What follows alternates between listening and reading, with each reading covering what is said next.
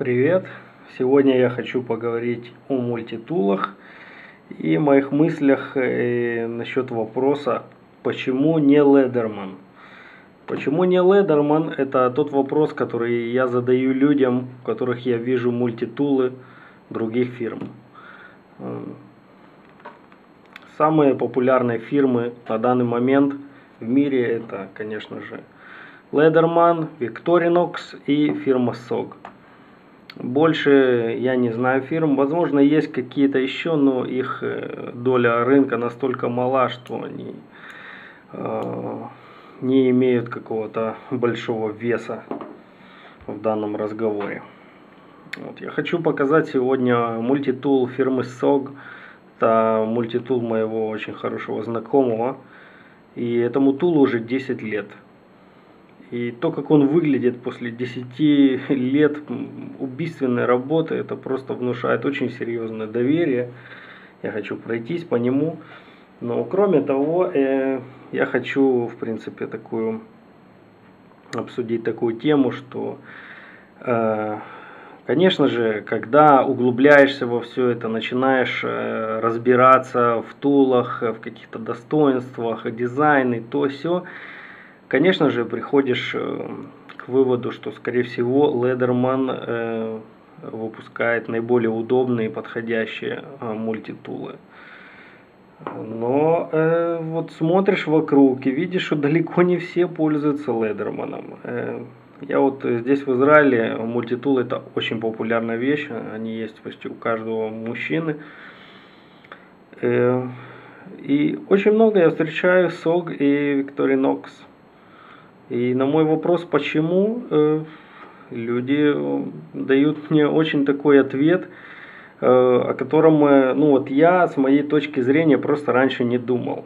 Потому что люди, когда приходят в магазин покупать мультитул, они э, не разбираются в вопросе, они просто основываются на своих каких-то личных ощущениях и чувствах, и, и это правильно.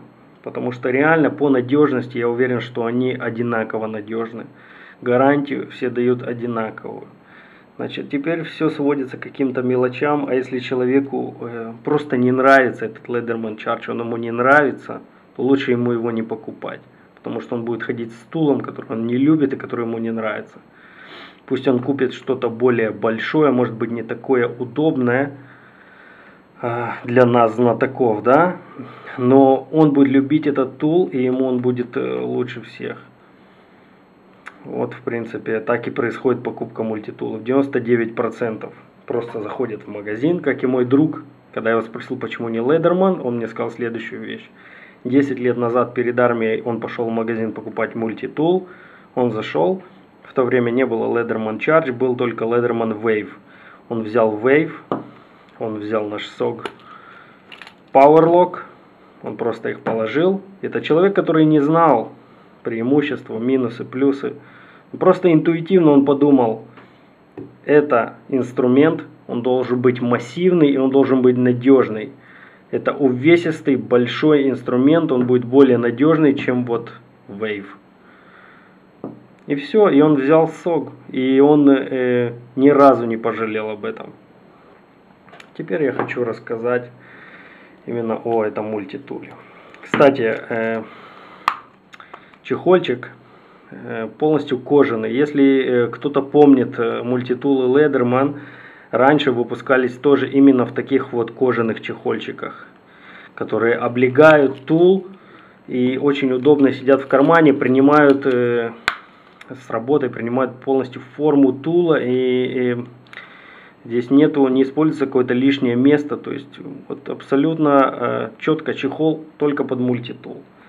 Когда пошли биты и разные навороты, то Ледерман начали изготавливать вот такие вот чехлы кожаные с резинкой, которых тоже много лишнего места. Или нейлоновые чехлы.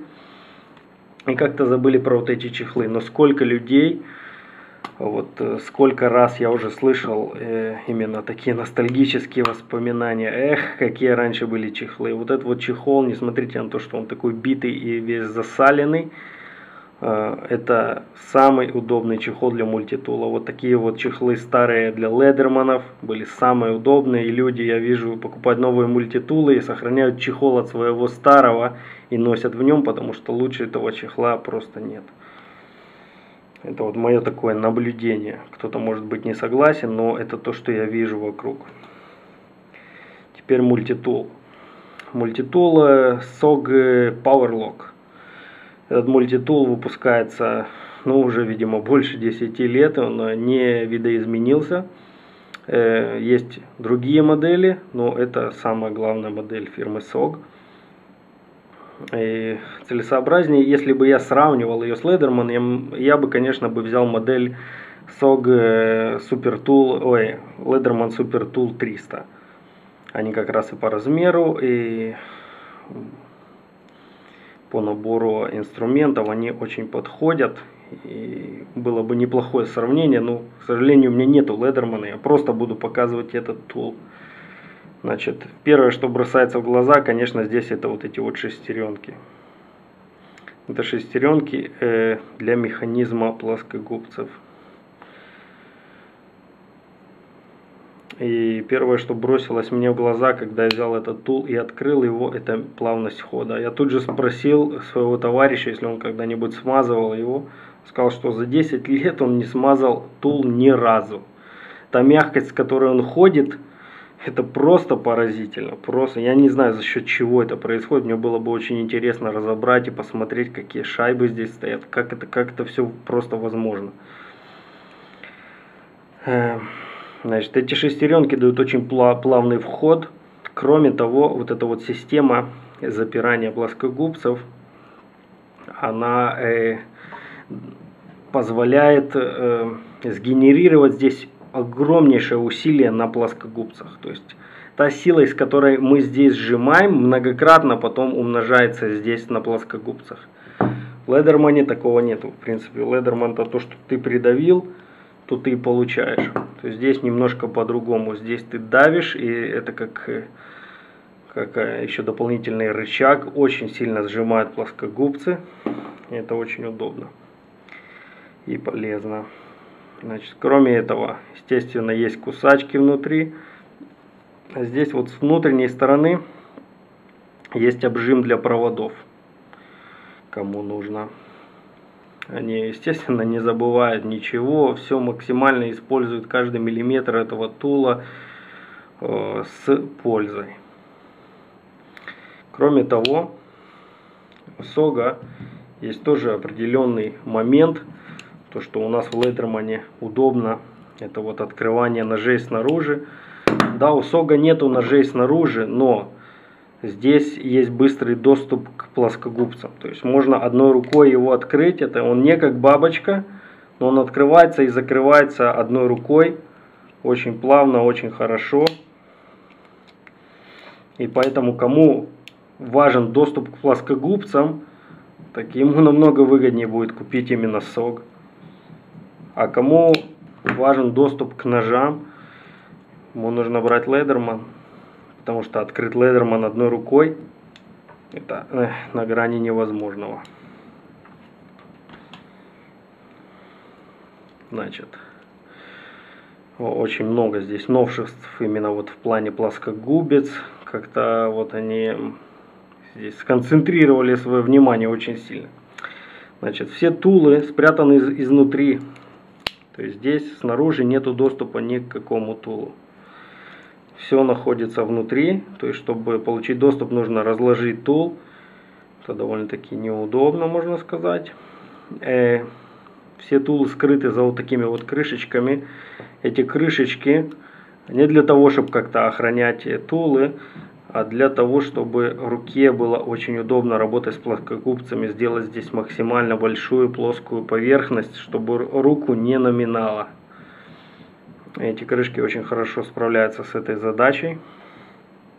Ну и теперь э, посмотрим, э, какие тулы у нас имеются в этом инструменте. Конечно, ему уже 10 лет. И он такой убитый, видавший виды. Но за 10 лет, блин, нужно отдать честь мультитулу, который так выглядит через 10 лет. Значит, у нас здесь есть напильник. Напильник не алмазный, как на Ледермане. А крупный, мелкий. И сбоку, как наверное, ножовочка здесь есть. Все тулы защелкиваются на замок.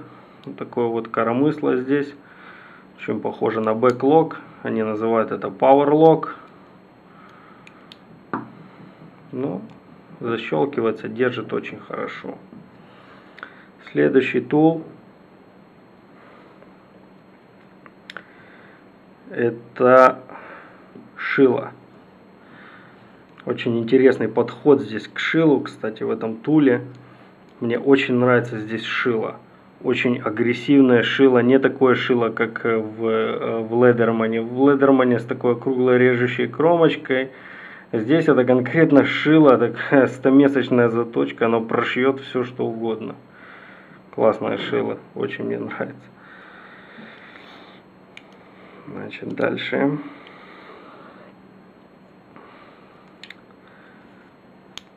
Отвертка большая отвертка. И здесь тоже есть какой-то вырез. Я не знаю, что это за инструмент, для чего это. Ну, видимо, есть какое-то предназначение этому вырезу. Отвертка как отвертка, в принципе, надежная, большая, то, что нужно. Следующий тул это крестовая отвертка. Крестовая отвертка мощная, не какая там, э, как делают там Ледерман, скажем, какая-то двух Э, то есть 2D отвертка плоская такая. Это полноразмерная, хорошая крестовая отвертка. И э, следующий инструмент. Здесь напичкано целых 6 инструментов с одной стороны. Значит, следующий. Это открывалка для консервных банок. И тоже такой оригинальный подход. Нож сделан здесь вот снаружи. Э, немножко отличается от Ледермана. И на торце у нас вот э, маленькая отверточка плоская. Как я уже сказал, все используют э, с пользой для дела. Каждый миллиметр. Все продумано. И, и следующий, последний тул с этой стороны. Это пила. Э, пила, то есть зубья очень агрессивная, очень цепкая, хорошая пила. Кстати, год после того, как был куплен этот мультитул, во время работы тяжелой была сломана пила. Э, мой товарищ отнес мультитул в магазин, и ему не меняли пилу, ему дали абсолютно новый мультитул. Вот такое вот обслуживание у СОГа на заметку, так если кто-то сомневался очень четко, то есть даже не разговаривали, достали новый тул и дали. Теперь перейдем в другую сторону. Здесь вот, кстати, по бокам э, на самих ручках такие вырезы, что можно ногтем подцепить, не обязательно э, изнутри пальцем доставать мультитулы, то есть снаружи цепляешь, не достаешь. Нож Ножичек, вот, честно говоря, для такого большого тула ножичек немножко маленький. С полусерейторной заточкой. Сама форма ножа очень хорошая, но э, коротенький, коротенький ножик. Хотелось бы подлиннее. Идем дальше.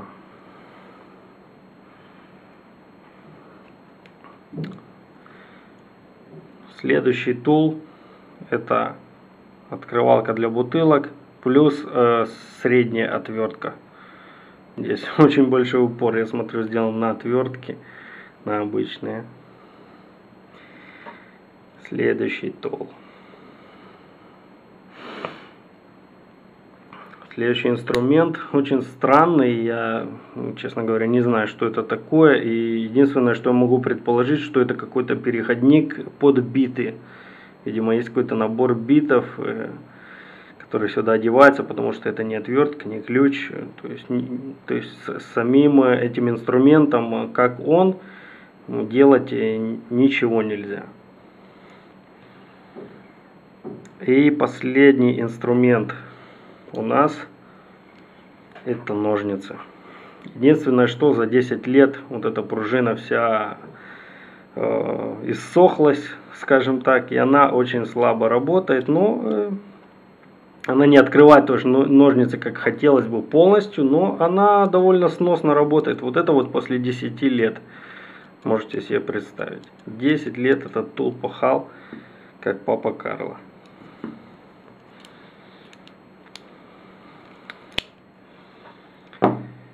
Вот такой вот э, мощный и на самом деле очень надежный и хороший тул. Да, со своими недостатками, да, со своими плюсами, но у каждой фирмы можно найти и плюсы, и недостатки. Например, большинство людей, когда их спрашиваю, почему они не купили э, Tool Victorinox, знаете, что они мне говорят? Они говорят, он выглядит слишком просто, в нем нету ничего особенного, просто, просто квадратная железка. И реально смотришь, берешь в руки Victorinox, Э, ты не чувствуешь, э, ну не знаю, какой-то особенности в нем. Он, он какой-то слишком простой. И я абсолютно четко понимаю этих людей. А когда ты берешь в сог, начинаешь его крутить в руках, эти шестерни, этот плавный ход, ты, ты сразу оцениваешь этот инструмент. Когда ты берешь ледерман, открываешь эти ножики снаружи, ты оцениваешь, ты видишь этот алмазный напильник, ты видишь S30V, титановые ручки, ты оцениваешь.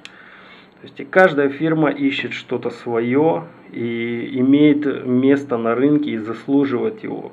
Поэтому если вам нравится SOG, то купите именно SOG, не таскайте Leatherman, потому что все любят Leatherman. Все. Спасибо за просмотр. Пока. Bye-bye.